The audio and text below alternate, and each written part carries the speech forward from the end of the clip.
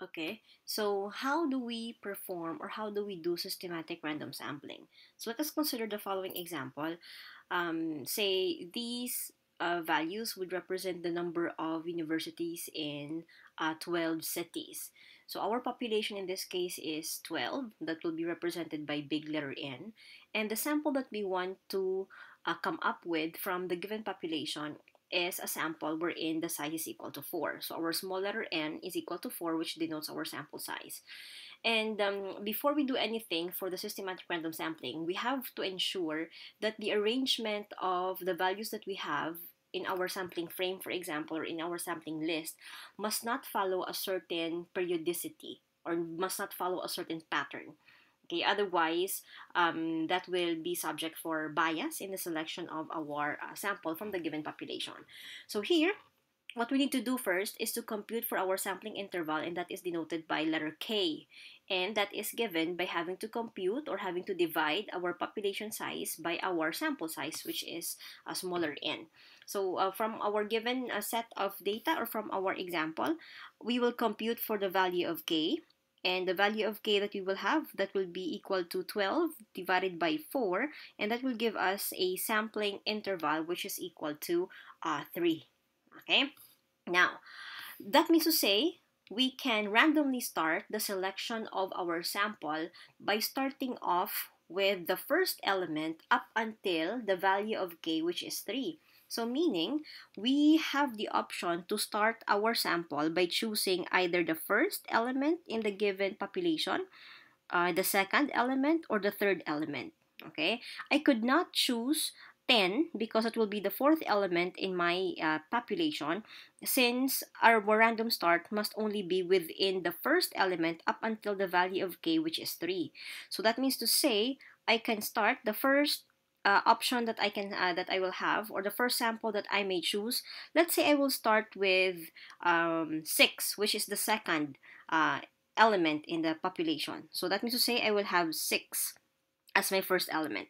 Now how do I choose the next element uh, to be uh, chosen from the population? Since our k is equal to 3 so from 6 I'm going to count 3 steps or 3 jumps. So from 6 1 in this case 1, uh, 2, uh, 3. Therefore, uh, my next element will be equal to 12.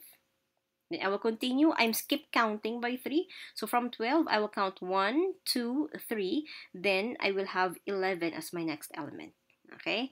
Then what I will do next is, again, to count or to jump 3 from uh, 11 from what we have chosen here. So jumping 3 units, that would be 1, 2, 3. And again, I'm going to come up with 11. Now, I will stop here. Why is it that I'm going to stop there? Well, other than the fact that if I continue, skip counting by 3, there are, um, there's only one element that follows after that, and then uh, there's nothing more. Okay, in the same manner, looking at the, the first sample that we have, okay, since the sample size that we want to uh, arrive at is 4, if you're going to inspect the first sample that we have uh, come up with has actually four elements and that includes 6, 12, 11, and 11. Okay, so that is just one option of the three possible options we will have since our k is equal to 3. So our next possible sample that we may choose from our population wherein k is equal to 3, I may start, let's say for example, I will start with the third element. So therefore, I'll have the first uh, element of the sample that I'm going to choose is 8. So skip counting by 3 after that. I'll have, so from 8, I'll count 3 units. So 1, 2, 3. The next element will be equal to 10. From 10, I'll count 1, 2, 3. The next element will be 9. And counting 3 steps, 1, 2, 3, the next element will be 7. And I will stop there because nothing else follows. And in the same manner, by inspecting the sample that we have, it contains four elements because the sample uh, the sample that we want should have a size of four. And um, what we have here there are actually four elements okay? However we still have another um, possible sample or the last sample that we may choose from the given population. So say I will start off with the first element which is in this case is 13 so starting from 13 skip counting by 3 I'll have 1 2 3 the next element is 10 Skip counting by 3. 1, 2, 3. The next element is 11. Then skip counting by 3. I'll have 1, 2, 3. The next element is 5. And I will stop there. That's because I already have 4 elements in my sample. That's because our sample size is 4.